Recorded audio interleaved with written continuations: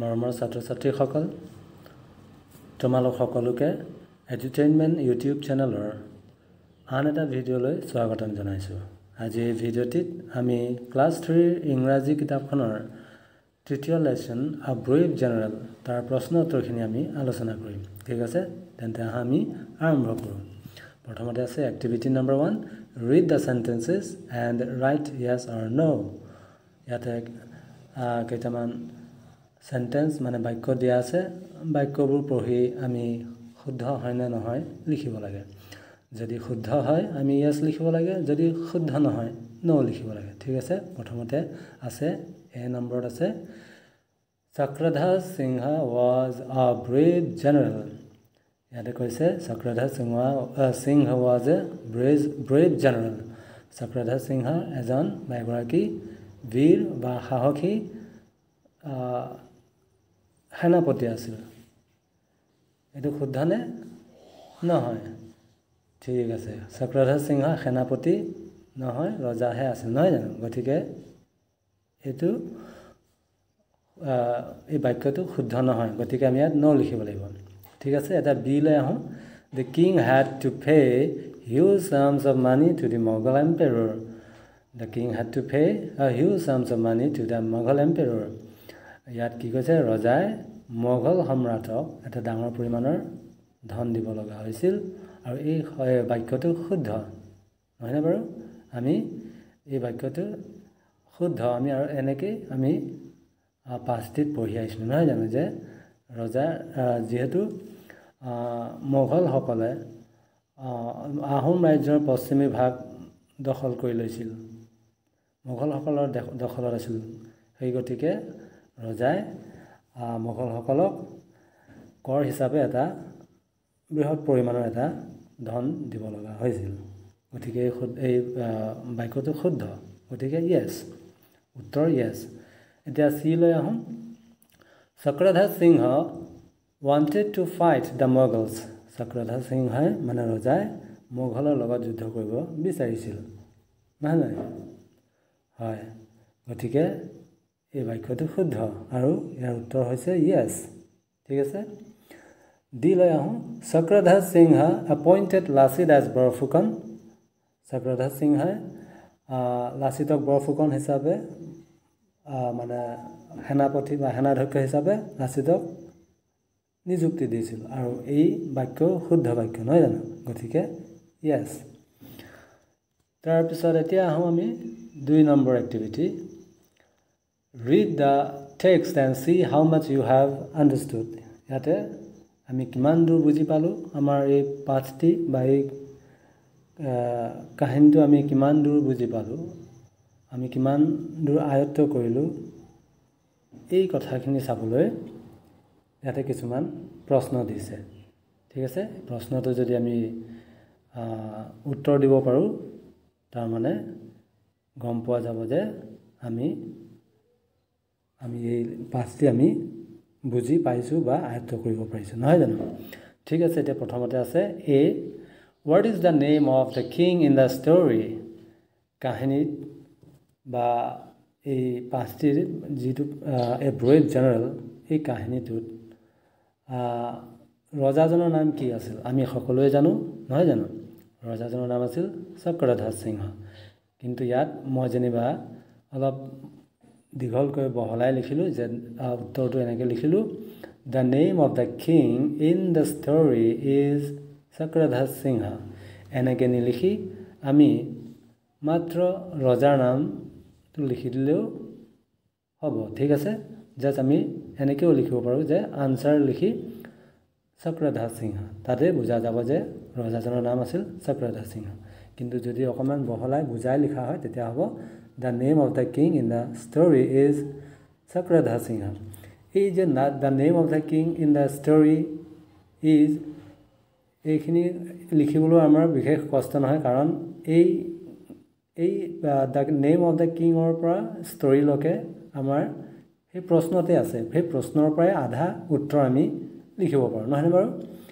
আমি সেই দ্য নেমৰ পৰা the name of the king in the story এইটো প্ৰশ্নত আছে তাৰ লগতে আমি ইজ লগাই দিলোঁ। ইজটো লগাই যেনিবা ৰজাৰ নাম লিখি দিলোঁ চক্ৰধৰ সিংহ।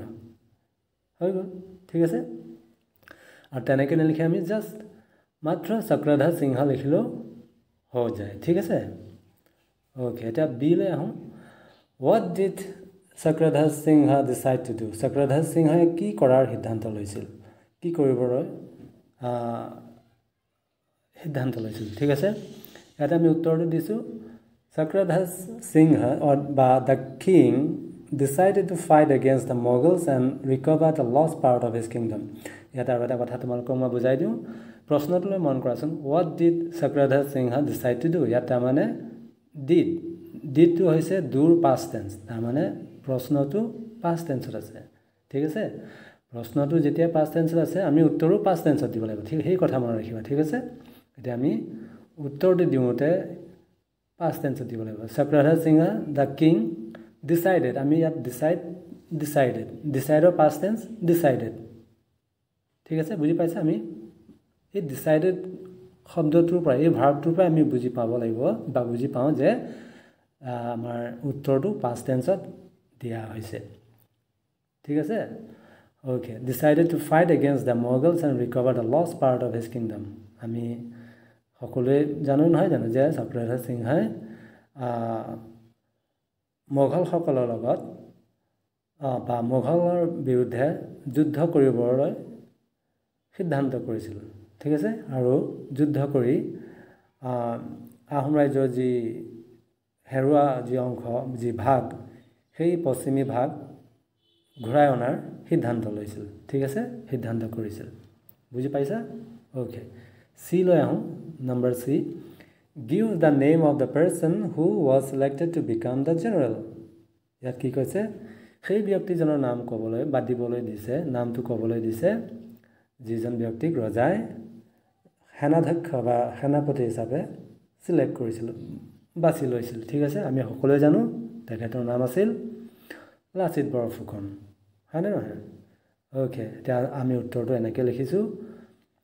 Lachit Borphukan was selected to become the general আমি এনেকৈ লিখিব লাগিব নহয় জানো উত্তৰটো Lachit Borphukan was selected to become the general Lachit বৰফুকনক জেনেৰেল হিচাপে চিলেক্ট কৰা হৈছিল বাছি লোৱা হৈছিল বা বাছনি কৰা হৈছিল বুজি পাইছা গুড এতিয়া ডি লৈ আহোঁ D number what did the attendant do that made Lachit so' angry আচ্ছা প্ৰশ্নটো আমি প্ৰথমে বুজি পাব লাগিব নহয় জানো?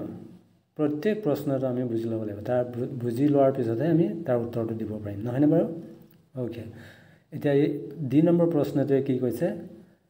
যে সেই পৰিচাৰকজনে এনেকুৱা কি কাৰ্য কৰিলে যাৰ ফলত লাচিতৰ বৰকৈ খং উঠিছিল? ঠিক আছে?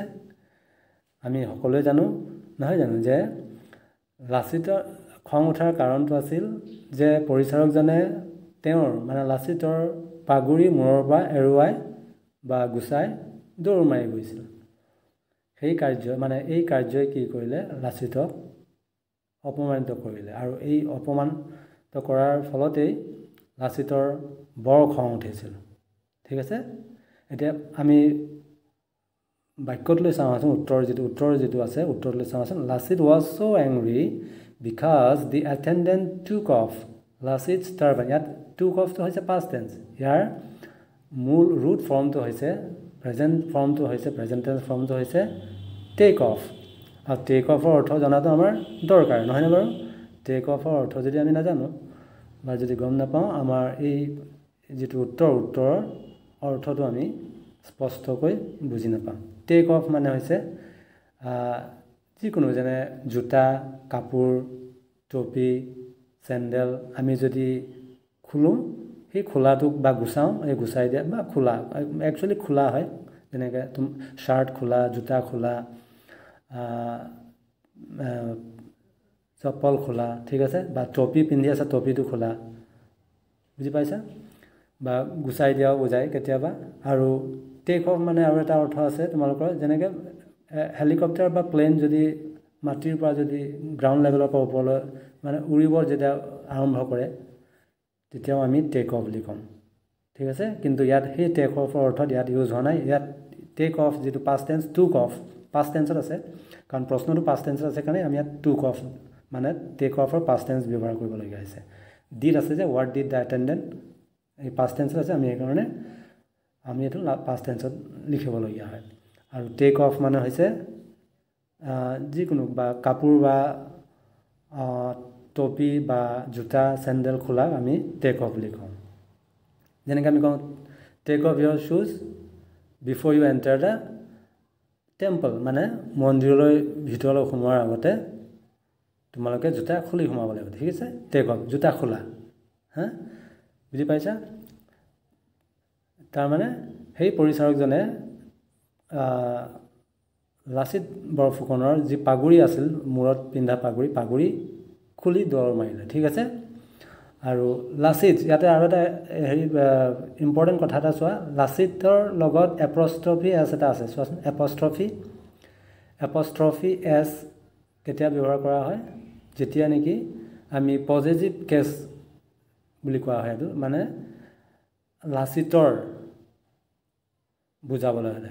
কাৰ লাচিতৰ কাৰ মোহনৰ এই এনেকুৱা কাৰোবাৰ এটা পজেশ্যন কোনোবা এটা সম্পত্তি হিচাপে যি পজেছ কৰে বা সম্পত্তিগৰাকী হিচাপে যি থাকে সেইজন যদি বুজাওঁ যেনে লাচিতৰ কাৰ টাৰ্বেন কাৰ পাগুৰি লাচিতৰ পাগুৰি সেইকাৰণে লাচিত টাৰ্বেন ঠিক আছে?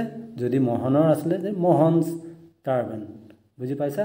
তেনেকুৱা ক্ষেত্ৰত আমি এপষ্ট্ৰফি এজ ব্যৱহাৰ কৰোঁ বুজি পাইছা? ঠিক আছে। এতিয়া আমি ই লৈ আহোঁ। E what did the king one to test in Lachit ৰজাই লাচিতৰ কি টেষ্ট কৰিব বিচাৰিছিল? কোনটো গুণ বা কোনবোৰ গুণ লাচিতৰ ৰজাই টেষ্ট কৰিব বিচাৰিছিল। সেই কথা সুধিছে। তেতিয়া আমি উত্তৰটো লিখিব লাগিব। King wanted to test if Lachit was brave and had self respect ইয়াতে ৰেচপেক্ট শব্দটো ভুল নকৰিবা তোমালোকে ৰেচপেক্ট বুলি উচ্চাৰণ নকৰিবা। ৰেচপেক্ট নহয় respect R E S P E C T respect বুলি উচ্চাৰণ কৰিবা। অ'কে ইয়াৰ আচল প্ৰনাউন্সিয়েশ্যনটো আচলতে ৰিচপেক্ট হয় ৰেচপেক্ট নহয়। সেইকাৰণে ইয়াত কি হৈছে? The king wanted to test if Lachit was brave and had self respect ৰজাই পৰীক্ষা কৰি বিচাৰিছে কৰিব বিচাৰিছিলে বা পৰীক্ষা কৰি চাব বিচাৰিছে যে লাচিতৰ সাহস আছেনে? লাচিত সাহসী হয়নে? বীৰ হয়নে? আৰু তেওঁৰ আত্মসন্মান আছেনে? এই গুণবোৰ চাবলৈ কাৰণেই ৰজাই টেষ্ট কৰিব বিচাৰিছিলে আৰু সেই টেষ্ট কৰিবৰ কাৰণে তেওঁক ৰজাৰ যি সভাকক্ষ তালৈ মাতি পঠিয়াইছিল। নহয়নে বাৰু? ঠিক আছে এতিয়া বুজি পালা ভালদৰে? ঠিক আছে তোমালোকে সকলোৱে কি কৰিব লাগিব এতিয়া?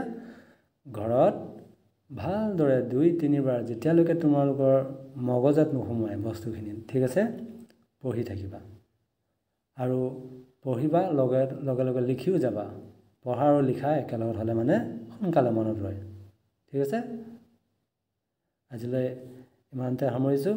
আৰু ইয়াৰ যি নেক্সট এক্টিভিটিজ আছে আমি আমাৰ নেক্সট ক্লাছত আলোচনা কৰিম। Okay thank U